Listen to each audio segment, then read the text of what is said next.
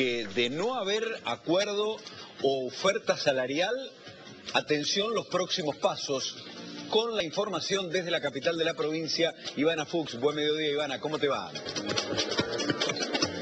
Hola Sergio, ¿cómo estás? Buen mediodía para todos. Bueno, a punto de arrancar la paritaria, en este caso municipal, venimos contando las discusiones salariales que vienen llevando adelante todos los sectores, ayer docentes y estatales y hoy formalmente el turno de los trabajadores municipales. Reunión que se hace de manera virtual. Aquí en la sede de FESTRAM, a metros de donde nosotros estamos, eh, están concentrados los dirigentes, los referentes sindicales de esta federación que representa justamente a los trabajadores.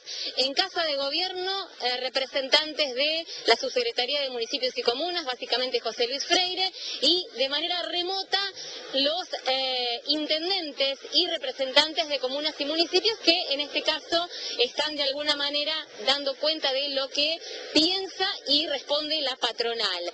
Es la previa, lo que vamos a compartir ahora, Sergio, a través de la palabra de Antonio Radner, secretario del gremio municipal eh, de allí, de la ciudad de Rosario.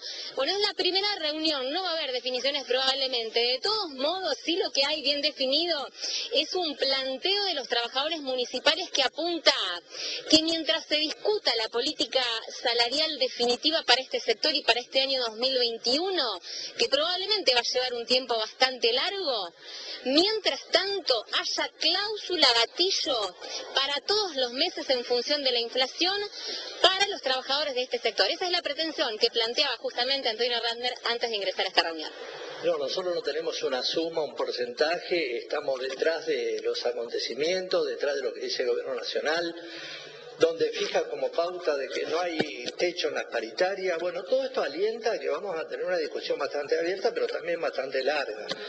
Lo que sí vamos a dejar sentado en esta paritaria, que es, como usted dice, protocolar, de conocimiento, son muchos intendentes, presidentes comunales que se agregan a la discusión paritaria, de que mientras dure la discusión en acordar una política salarial se pague lo que es la cláusula gatillo. Lo que no podemos permitir es que los trabajadores sigan perdiendo poder adquisitivo.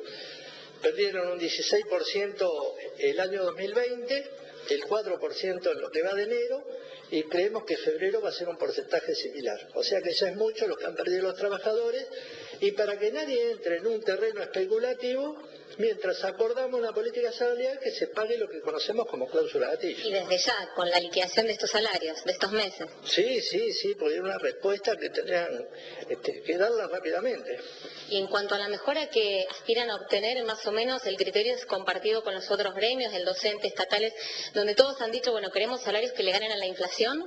Sí, bueno, pero hay que recordar que el año pasado nos dijeron, cláusula gatillo no, tenemos una propuesta superadora que va a ser mejor a la cláusula gatillo y al final no tuvimos ni propuesta superadora ni mejoramos la cláusula gatillo. ¿Por qué? Conseguimos un 20% de aumento cuando la inflación fue de un 36,5. Si los intendentes dicen no a esa cláusula gatillo, entonces ustedes contraponen un plazo en el que se debería de algún modo formular la propuesta de mejora salarial. Nosotros creemos que la respuesta la tiene que tener la próxima reunión. O sea, si hoy dejamos sentado esta posición, la respuesta la esperamos la semana que viene. Si no hay respuesta positiva, bueno, después vamos a ver los cuerpos orgánicos cuáles son las, medidas a seguir. Ese es el planteo, Sergio, que traen los trabajadores municipales y sus representantes sindicales a esta paritaria que arranca en este mediodía. Mientras se discuta, mientras se acuerde la política salarial general del año 2021, que seguramente va a llevar bastante tiempo, que se aplique, que se active la cláusula gatillo mes tras mes en función de los índices inflacionarios que precisamente vaya teniendo cada periodo mensual. Si los intendentes hoy dicen que no a este planteo que los eh, trabajadores municipales a través de sus representantes sindicales están trayendo, lo que la FETRAN va a pedir es que ya en la próxima reunión, que estiman será la semana que viene, los intendentes traigan formulada una propuesta de mejora salarial, es decir, qué aumento de alguna manera pretenden aplicar a los salarios de los trabajadores del sector. Con este cuadro de situación, Sergio, con este contexto, arranca formalmente la paritaria municipal en nuestra ciudad. Clarísimo el panorama, Ivana. Volvemos en cualquier momento si hay novedades allí entonces. Dale, cómo no, hasta luego. Ivana Fuchs desde Santa Fe. No nos olvidemos el acuerdo, o mejor dicho, la reunión paritaria de docentes a nivel nacional que tendrá lugar hoy en Buenos Aires. Eso puede ser un marco de referencia, será un marco de referencia para la discusión paritaria con los maestros en territorio santafesino y, por qué no, en cierta manera, para el resto de las negociaciones salariales. Para hoy estaba dictaminado un paro de los médicos, quienes no aceptan las condiciones del gobierno de la provincia. Se dictó la conciliación obligatoria, el gremio AMRA no, no la acató. Bueno, otro escenario de conflicto que ya se ha instalado. Deportes.